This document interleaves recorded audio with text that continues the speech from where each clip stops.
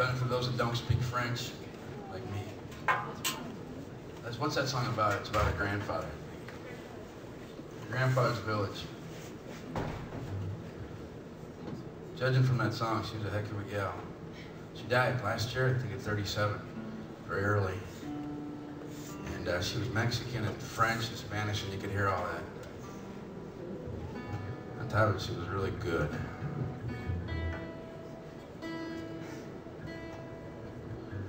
Well, this is another topical tune. This one's called Luna Pier. It's named after the pier down in Monroe. And it's instrumental.